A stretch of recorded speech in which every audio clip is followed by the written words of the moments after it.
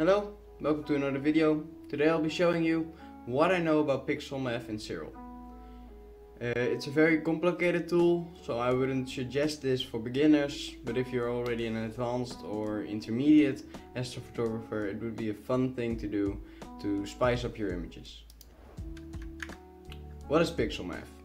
Basically, an instance of Pixel Math contains a set of references to operand images. The operations that must be performed between them and some parameters to control how the image how the result image is generated. Is what PixInsight call is a small explanation PixInsight uses um, to to explain what pixel math is. Basically, pixel math uses formulas to adjust a set of images, for example, combining them by using uh, image A plus image B which results in image C. The absolute basic pixel math expressions are addition, subtraction, multiplication and division, but these are the absolute basics and there is so much more, for example power laws and whatnot. I will link the documentation from PixInsight below, which can be uh, used completely interchangeably with Siril Siril's pixel math. The data I'll be using for this image is 24 times 600 seconds HA and 10 times 600 seconds green channel. Uh, because I don't own an O3 uh, filter yet, um, green is going to be my O3, so we'll be trying to create a HOO image. First, we gotta prepare our images. You wanna do a background extraction on the separate channels and also stretch them individually. I've created a tutorial on my YouTube channel already, the mono processing tutorial, um, in which I will, in which I show the background extraction and how you can stretch your images. Um, then we're gonna create a new sequence, register the images and open the images in Pixel Math. Um, well, let's now go into Siril. Inside of Siril, you're gonna want a working directory set. Uh, I've already created one, the pixel math. Uh, the two files I have copied in there, the green first adjustments and the HA first adjustments.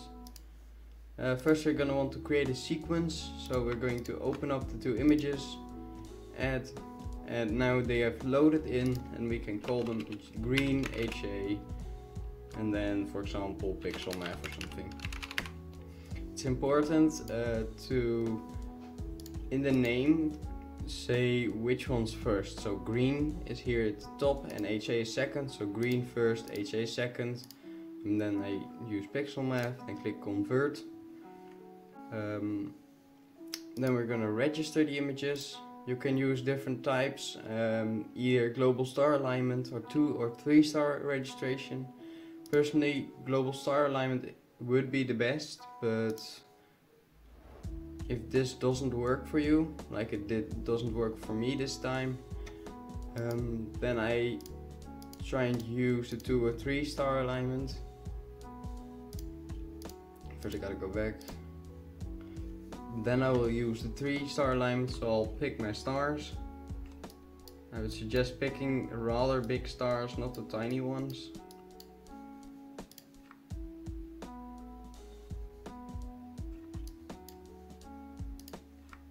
Pick a second star. Pick a third star. Go register. This has successfully registered the images and aligned them. As you can see, the there are some black borders now. So we're going to want to crop the images so that we don't have any problems there. Um, so I need to go here and you're gonna want your worst aligned image for this one. So for me it's the HA because it has the the most black borders. Um, and the O3 which is the HA is aligned to the O3 or the green. So the green channel won't have any borders for me but the HA does because it is aligned to the O3 see HA or green and HA. So this is going to be the crop because I'm cropping out all of the black areas here and leaving as much of as of the rest of the, the, the good stuff uh, I'm leaving. So I'm gonna crop sequence, click apply.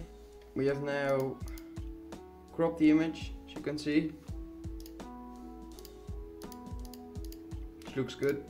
And now we can go into Pixelmath to open up both of these images. We're gonna use both of these, so we're gonna select cropped R the name, click OK. This is correct, this is variable green, or we can call it O3, but I'll call it green for now. The second one is HA. Uh, you're gonna want to set your variables, um, which will be used uh, in the pixel math um, as your expression. So basically I'm going, if I want to uh, add the two images together, it will be HA plus green and then I can click apply and it will create the scene basically from earlier. Um, as I am creating a RGB image and not a luminance layer, I will hit the use single RGB expression, I'll click off. So I have now access to the red, green and blue channel. And now we can start with experimenting. For example, the standard HO expression would be HA in the red and in the green in the green and blue channel you would use O3. If you click apply, this will create an image which looks something like this. Don't worry about the background, we can neutralize that in Photoshop or in, yeah, basically in Photoshop you can do your other edits. Um, but this, this is what HOO would look like.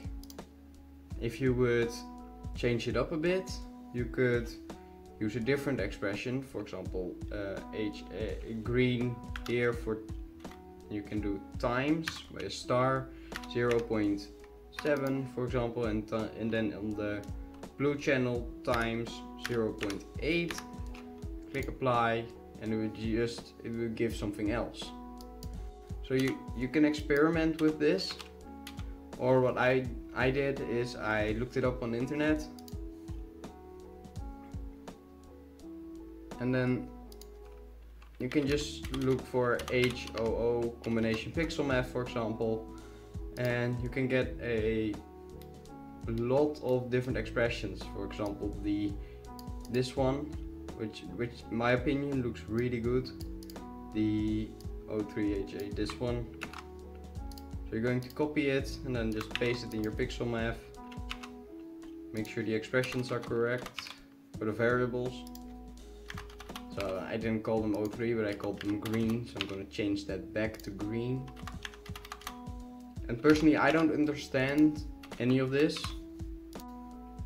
I just know it looks good. Um, but you can you can experiment with this um, how whatever you want to do with it. Um, but personally, I would start with going to different PixInsight expressions that you can find on the internet. For example, uh, something like an SHO, you have all sorts of combinations. And I would just plug them into the pixel math of Siril because they work interchangeably, as I said, from PixInsight. Um, and I would just see what it does and try and understand what each expression does and so you eventually are able to come up with your own uh, palettes. Well, I wish you good luck with all of these uh, expressions and I hope you learned something from this video and I wish you good luck uh, with the pixel math and clear skies.